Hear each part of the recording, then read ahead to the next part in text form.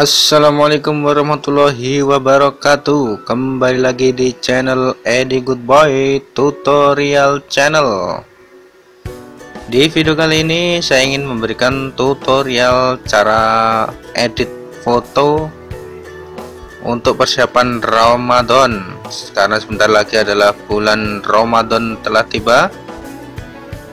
Kita edit foto atau membuat desain foto yang bertemakan Ramadan. Di aplikasi Pixai Pro bagaimana caranya? Mari kita simak video berikut ini. Pertama-tama yaitu buka aplikasi Pixai Pro kalian lalu pilih get a picture. Klik. Lalu pilih new blank picture Oke setelah seperti ini menjadi project baru. Silakan kalian klik stiker. Oke. Lalu pilih basic shape. Pilih shape yang berbentuk lingkaran yang warnanya hitam. Seperti ini. Kita atur posisinya. Klik dua kali lalu pilih efek blend with background. Lalu centang. Pilih stiker lagi kita pilih basic shape lagi. Sama tapi kali ini warnanya warna putih. Oke setelah itu kita atur menjadi seperti ini. Seperti bulan separuh atau bulan sabit. Jika sudah silahkan kalian klik dua kali pada objek lalu pilih efek lalu pilih blend with background. Oke menjadi seperti ini.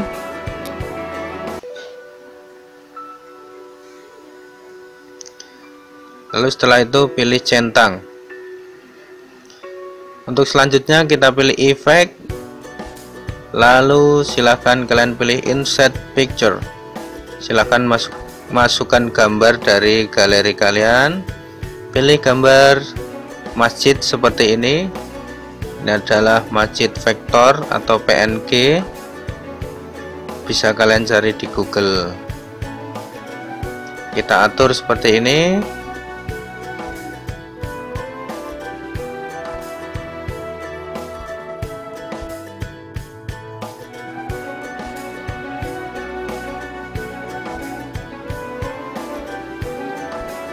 Oke setelah itu pilih cut out lalu pilih multiply. Lalu kita hapus bagian yang melebihi bulannya. Atau melebihi gambar yang pertama tadi.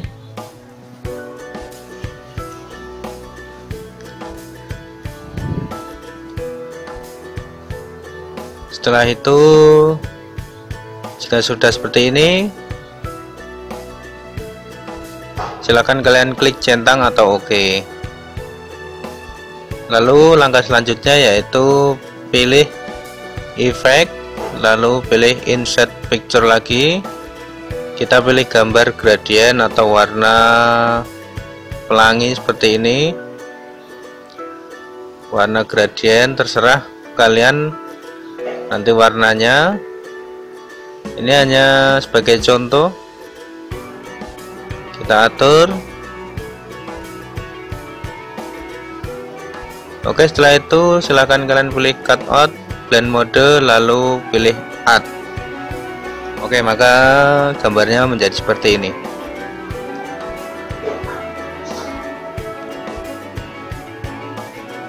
Oke setelah itu agar lebih keren kita bisa tambahkan hiasan silahkan pilih stiker. Kita tambahkan teks terlebih dahulu yaitu Ramadan. Saya pakai font motion picture personal use. Untuk warnanya kita sesuaikan seperti gambar yang sudah kita edit tadi oke kurang lebih seperti ini. Ramadan Karim. Nah ini bisa kita tambahkan hiasan-hiasan pilih stiker. Lalu pilih basic shape lagi. Nah, pilih shape yang berbentuk seperti ini. Kita atur untuk hiasannya silahkan kalian atur sendiri. Lalu setelah itu pilih export untuk menyimpan gambar. Oke maka hasilnya akan menjadi seperti ini.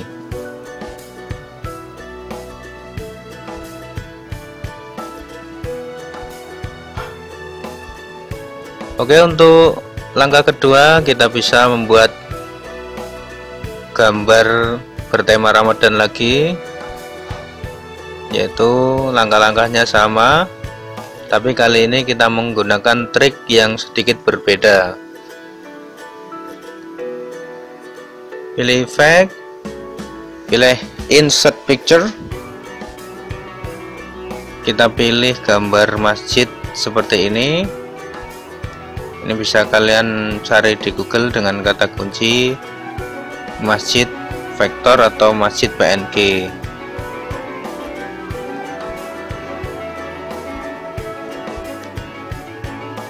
Oke kita atur di bawah.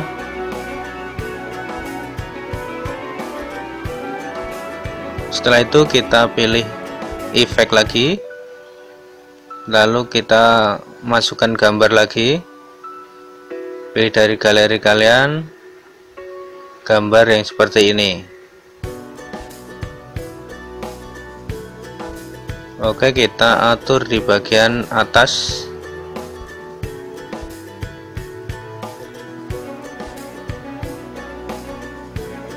Setelah itu pilih centang atau OK.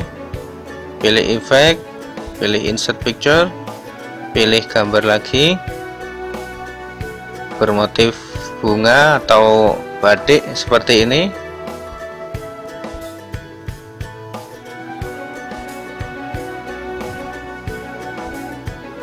karena warnanya sepertinya tidak sama. Yang pertama tadi hitamnya sedikit memudar jadi kita hapus di bagian dalamnya.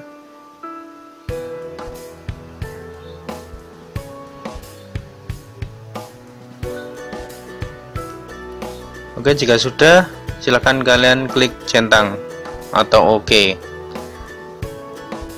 Lalu kita pilih efek kita masukkan gambar kaligrafi seperti ini. Pilih cutout dulu kita pilih multiply. Kaligrafi bertuliskan Ramadan Karim. Kita hias terlebih dahulu.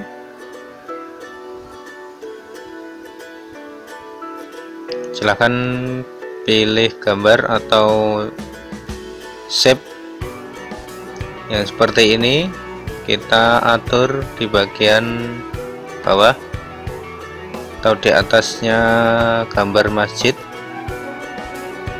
Seperti ini kita duplikat saja. Lalu jangan lupa kita beri efek klik efek lalu pilih rainbow atau pelangi. Oke jadinya otomatis seperti ini ini adalah trik yang kedua. Untuk yang pertama tadi kita masukkan gambar lalu kita pilih blend mode dengan cara pilih add. Lalu untuk ini lebih simple kita pilih rainbow. Oke setelah itu kita simpan terlebih dahulu. Silahkan jika sudah atau bisa kalian tambahkan hiasan-hiasan lainnya entah nama atau ucapan selamat kurang lebih jadinya seperti ini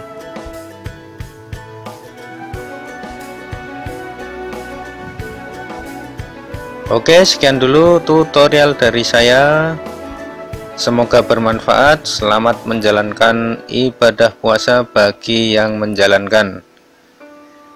Jangan lupa subscribe, like, and share. Wassalamualaikum warahmatullahi wabarakatuh.